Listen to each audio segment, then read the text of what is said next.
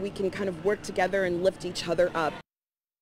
Local businesses in the community supporting each other after the pandemic. In this week's Totally Tallahassee, we're heading to a street market to see how businesses in the community are working together to be successful.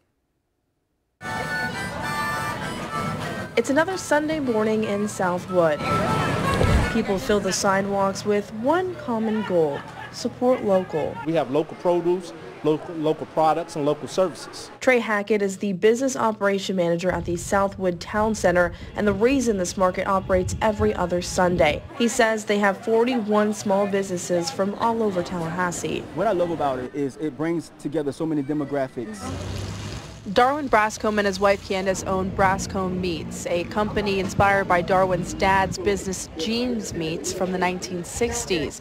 Darwin's dad had to give up the business after Darwin got cancer. We want to continue the legacy, not only his legacy, but our family's legacy. But now their legacy is becoming a collective story because right next to their table at the market is Marie's Jellies, owned by Rose and Tracy Garrison. They make homemade canned goods like salsas and jams. The two are using their products together for a sausage and jam breakfast sandwich. It's not just about Marie's jelly, selling all her jelly, but I want to make sure yeah. and help others out and to be successful. The outpour of love goes beyond the businesses working together, but also the community shopping local. I mean, my first market, I had less than I do now, but there was a line and I was sold out and I was like, how? Amanda Howe is the owner of Macaroons by Amanda.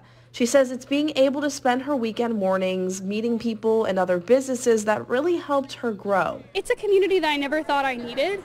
Bringing people together to support each other was always the dream when Hackett first started it back in February.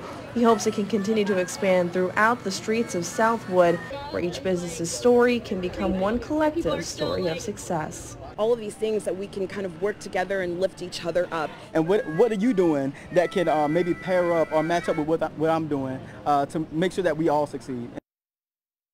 Now, the market is open every second and fourth Sunday of the month in the Southwood Town Center.